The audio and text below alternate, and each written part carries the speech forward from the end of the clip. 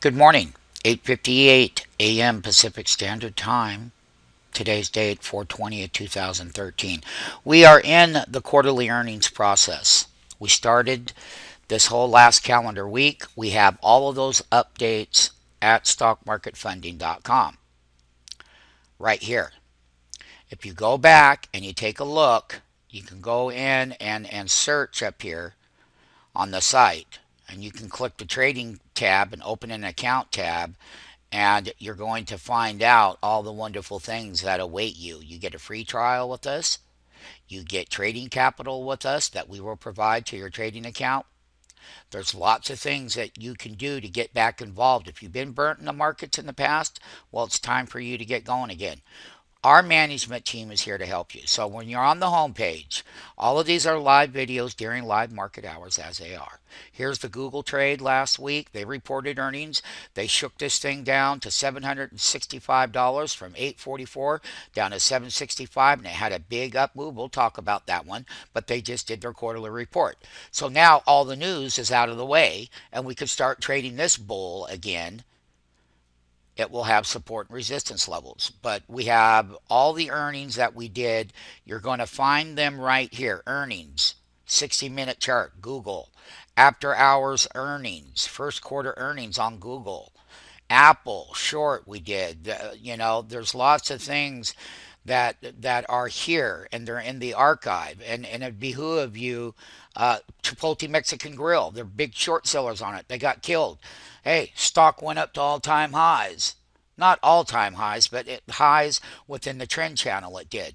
So there's some bright spots on these earnings. One of the things that we've been noticing, they've been shaking stocks down, selling them off, and then buying them up once they release the report. So they're trying to price in a lower growth environment and then turn the tape to the bull side, and that's good. Never fight a trend, go with it. So let's get back to the major catalyst. On Monday, before the open, we're going to be looking at Halliburton, H A L. We're going to be looking at Caterpillar. That's going to set the tone for Monday, those two stocks. After the close on Monday, which is Monday, and now these earnings start Monday, April 22 and go through April 26th. So before the uh, after the close, there's going to be a lot of stocks. And what are what are what's our premier stock? Netflix. Now, back in the time, Netflix was up at $302 at one time and went all the way down there right around $50 or somewhere in that neighborhood and it's rallied all the way back. Last quarterly report was good for Netflix. I can tell you if they come in with 5 million subscribers of new growth in this particular quarter, this thing is going to go through the roof but it would be two quarters in a row if they beat this number on Monday after the close that they were minus 0.8 cents. The last one, they came in at 19 cents right here. So all eyes on Netflix. As far as semiconductors go, we'll be looking and see what Texas Instrument has to say. Okay, but that's really our focus. We'll be taking a look at some of these other stocks in here that, um, you know, they don't have big price movements. Swift Transportation is going to be one where, where, we'll have our eyes on because we want to see what they're doing as far as what are they what are they doing it's in the transports so then we get into tuesday before the open and before the opening bell and pre-market we're going to have coach and the retail will be all over it. Brinker, EAT, will be looking at all of these. AKS Steel, that's been dead forever. And we're going to see if there's in, you know, you, you, you, they don't produce more steel unless you're building, okay, period. So there's lots of things that we're going to be looking in here. U.S. Airways, what do they have to say? Okay. So Radio Shack, well, what do they have to say? It's a retail stock, a retail store, but we'll be looking at some of the retails in here. Then as we move through the week, we'll start looking at Broadcom. Amgen is a big one that we like it. It's it's really done well. So we're going to look and see what kind of dips we can buy. What I want to say Apple, big bellwether. Hey, we got down to $385 a share We're going to see if those weaker earnings are, are already priced in the name. Okay? Broadcom, Cree.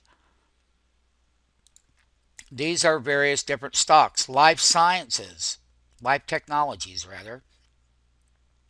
MBR Industries, OII Engineering, Panera Bread, the bellwether. They really manage a great company. We're going to be uh, we're going to be seeing how they're doing. Um, we love love buying the dips on PNRA. Yum Brands, well, they got a lot of trouble because of the bird flu in China.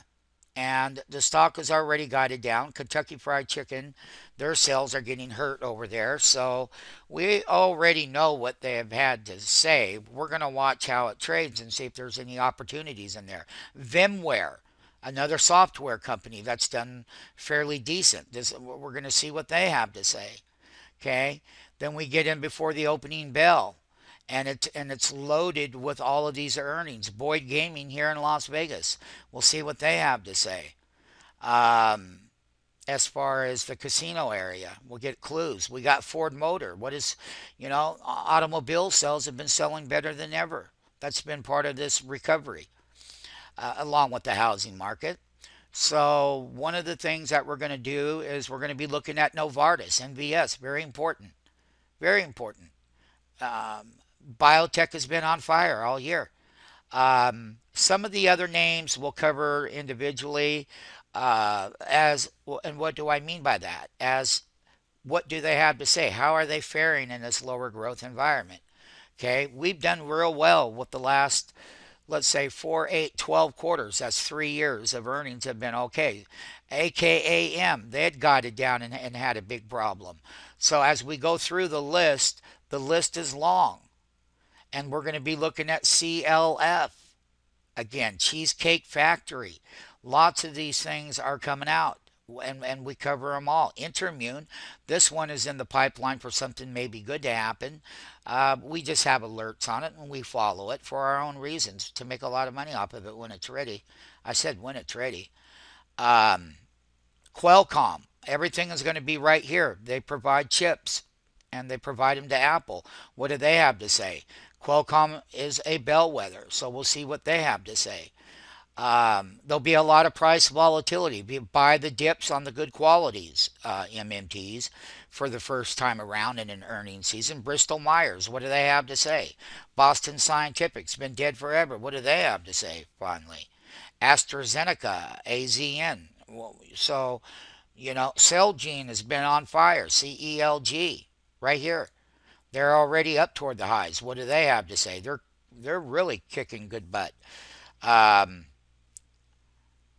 some of the other ones, ExxonMobil, okay, uh, Jack in the Box, been on fire. Or, I mean, not Jack in the Box, Jakks Pacific. We're going to see what they have to say.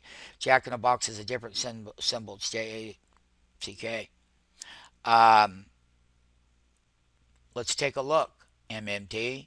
See how long the list is? Okay.